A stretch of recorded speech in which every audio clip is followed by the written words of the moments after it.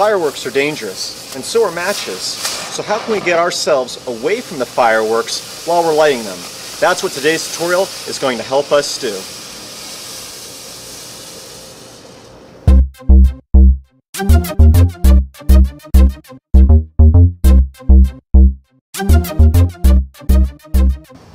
If you caught my video last week, I had a little trouble getting a smoke bomb to go off with my Arduino board.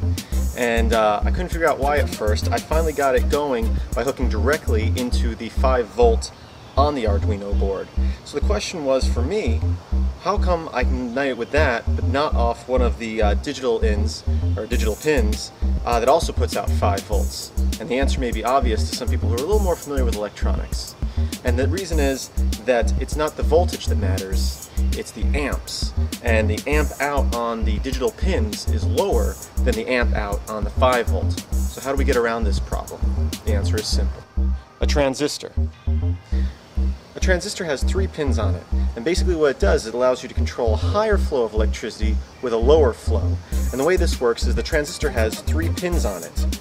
One for the positive of the higher voltage, or amps, and a ground, but in between the two is a third pin for a lower voltage. And the way I get this to work in this project is I connect the positive end to the 5 volt pin on my Arduino, the ground to the ground, and then I connect the middle pin to one of the digital pins. And what happens is the higher voltage or the higher amps, the higher flow of electricity, does not flow through until it gets that signal from the digital pin.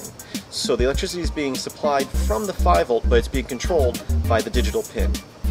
To make this project a little more easy to put together and to uh, work towards my goal of making a smaller igniter, I'm going to be using the Boarduino from Adafruit Industries. Go to adafruit.com to order one.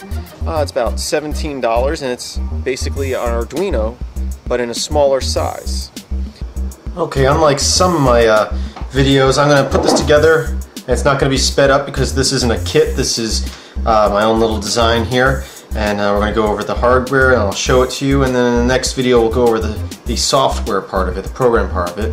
First thing we need is a breadboard and our Boarduino. I'm going to set that into the breadboard right there.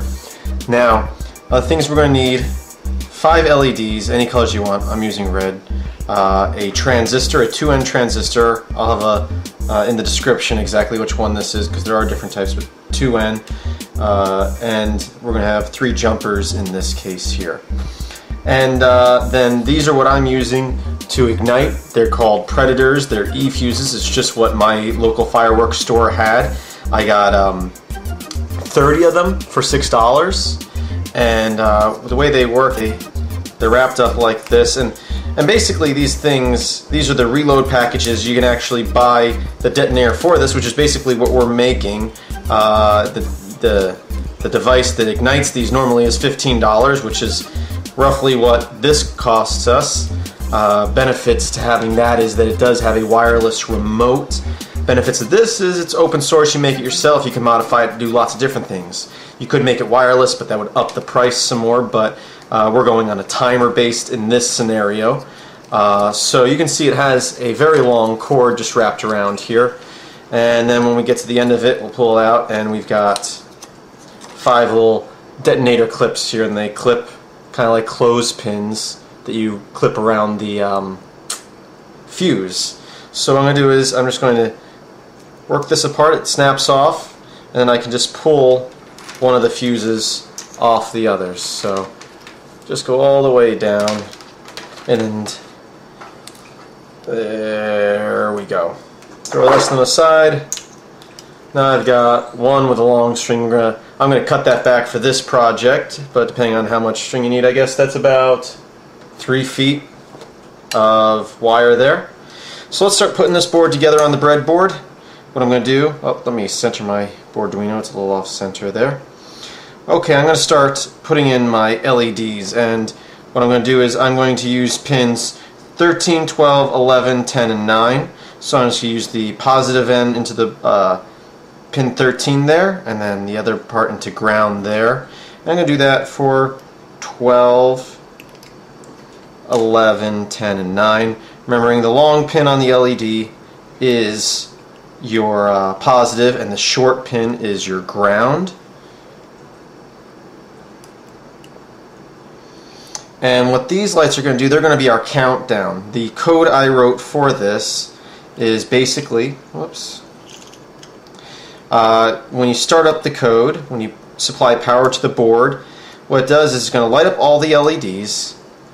Then the first one's going to flash and then turn off, and the second one's going to flash three times, turn off, flash three times, turn off, flash three times, turn off, flash three times, turn off. Then they're all going to flash three times, and then it's going to ignite the fuse on the uh, smoke bomb in this case. Uh, so right now we got these hooked up to the to the different uh, uh digital pins here. So this is 9 through 13, actually 13 through 9 going from left to right in this case, of the digital pins. And then I'm just going to take ground here and hook it to the ground here because on the breadboard this blue bar on the end here for the ground so now I'm powering ground there so you have to use that little jumper there. Uh, now I'm going to take my transistor here and I'm going to put it off to the side over here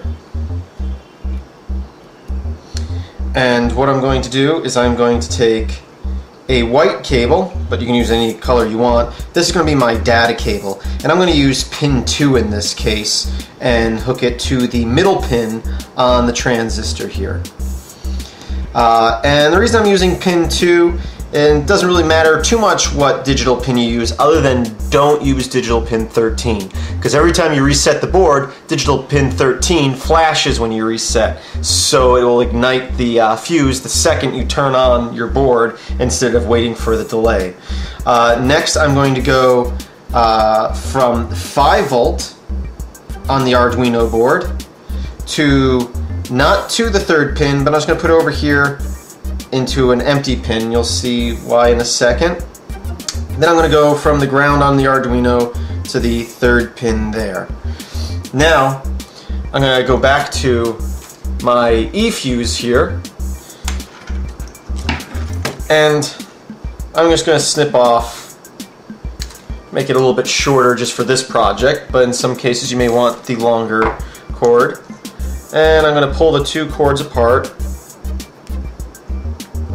so, just a little bit, and strip a little bit of the insulation off the end here. There we go. And doesn't matter which end goes in which, but I'm going to put one into the positive here. And the wire on this is pretty thin, so sometimes it's a little hard to get in there. Uh, in my final product, I'm probably going to make connectors for this. But we're going to put one end into the positive and one into the uh, first or third pin, depending on which way you're going, on the transistor.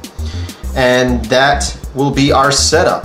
At that point, once we power the board, we'll start, as I said, flash, all the LEDs will come on, and the first one will blink three times, turn off, second one will blink three times, turn off, all the way down, then they'll all blink three times, and then light our smoke bomb.